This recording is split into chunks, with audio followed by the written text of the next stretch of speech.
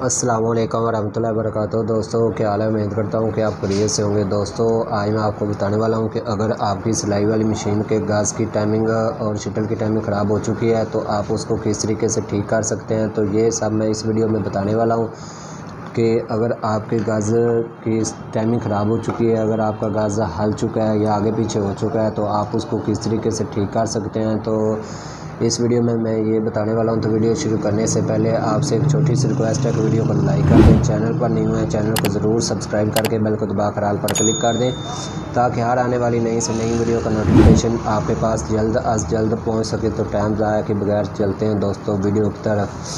آپ نے سب سے پہلے اپنی مشین کا بوٹ بھی اتار لینا ہے اور نیڈل پلیٹ بھی اتار لینی ہے اور یہ والی پلیٹ بھی اتار لینی ہے۔ سب سے پہلے آپ نے اپنی مشین کا بوٹ کا یہ والا پیچ لوز کر کے آپ نے اپنی مشین کا بوٹ اتار لینا ہے، تو یہ جو پیچ لگا ہے، یہ آپ نے لوز کر لینا ہے۔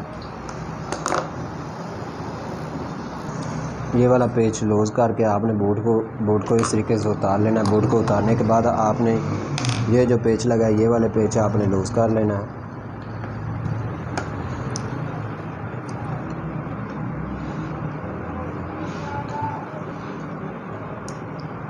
پیچ کو لوز کر کے آپ نے نیڈل پلیٹ کو بھی اتار لینا ہے۔ پھر آپ نے یہ والا پیچ لوز کرنا ہے۔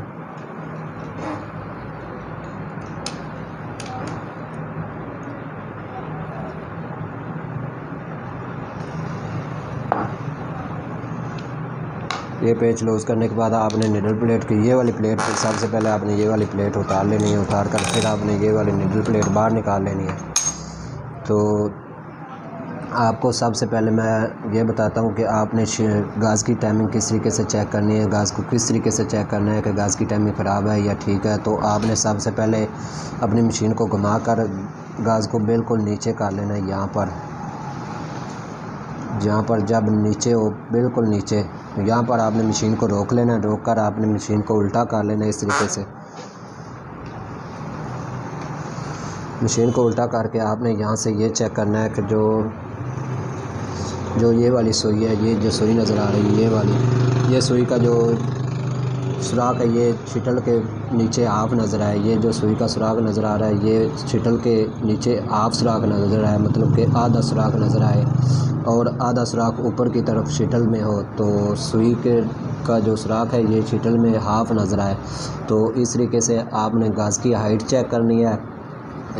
گاز کی ہائٹ اگر آپ کے گاز کی سوئی زیادہ نیچے ہو تو آپ نے یہ والا پیچ یہاں پر پیچ لگا ہے یہ والا۔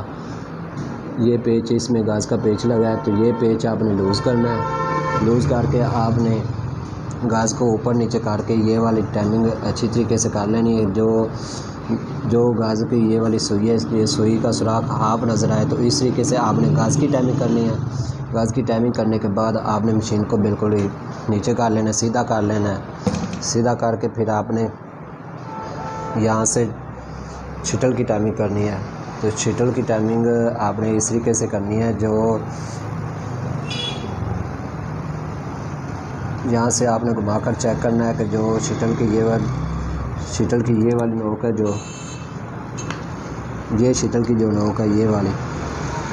یہ شٹل کی نوک سوئی کے سراخ کے اوپر والا جو گیپ ہے، اس کے بالکل درمیان سے گزرے۔ تو آپ نے گاز کو بالکل نیچے کر لینا ہے، نیچے کی طرف کر کے جب اوپر کی طرف گاز آ رہا ہو، تو آپ نے یہ چیک کرنا ہے، جو شٹل کی یہ والی نوک ہے، یہ نوک، یہ سوئی کے اوپر والا جو گیپ ہوتا ہے، گیپ کے بالکل درمیان سے گزرے۔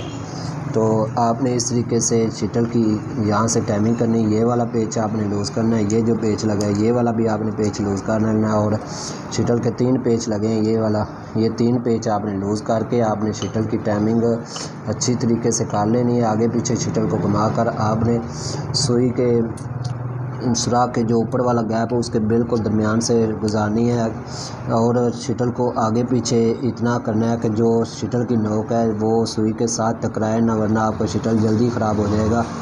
تو آپ نے اس طریقے سے ٹائمنگ کرنی ہے۔ اگر ٹرائے گا ساتھ ٹکرائے گا تو آپ کی مشین بار بار دھاگا بھی توڑے گی اور شٹل بھی جلدی خراب ہو جائے گا۔ اور زیادہ فاصلہ بھی نہیں رکھنا کہ اگر شٹل اور سوئی کے سوئی کے درمیان زیادہ فاصلہ ہوگا تو آپ کی مشین دھاگا بھی توڑے گی اور ٹاپ بھی کرے گی۔ تو اس طریقے سے آپ نے شٹل اور گاز کی ٹائمنگ کر لینی ہے۔ تو پھر آپ نے واپس نیڈل پلیٹ کو لگا لینا ہے، لگا کر واپس پیچ کاس دینے ہیں۔ کاس کے بوٹ کو بھی لگا لینا ہے۔ تو اس طریقے سے آپ نے شٹل اور گاس کی ٹائمنگ کرنی ہے۔ امید کرتا ہوں کہ آپ کو ویڈیو بہت اچھی لگے لگی ہوگی۔ تو ویڈیو اچھی لگے تو ویڈیو کو لائک ضرور کرنا۔ ملتے ہیں اگلی ویڈیو میں۔ اوکے، اللہ حافظ۔